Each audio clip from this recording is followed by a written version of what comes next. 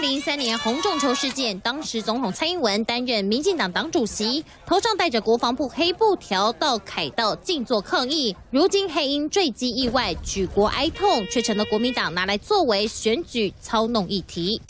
前警大教授叶玉兰抛出这一张假照片，当时静坐的蔡主席上方还有辱骂国防部布条。叶玉兰在脸书写下，看到三军统帅为殉职将士办追思，很感动。但想到这一幕，当时的蔡主席如何羞辱国军，还 tag 照片与内容并无虚假。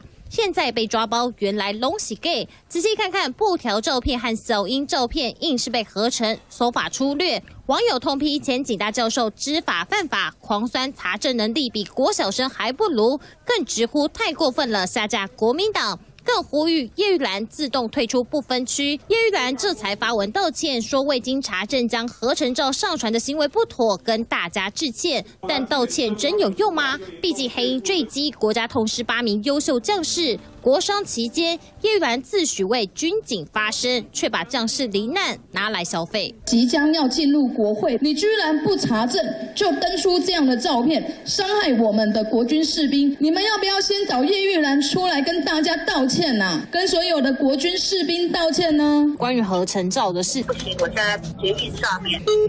叶玉兰散布假消息，企图造谣抹黑选前倒数阶段。叶玉兰到底是选前送分的猪队友，还还是真能为军警发声的好战友？答案不便自明。三宣正龙马，推广 S 小组台北报道。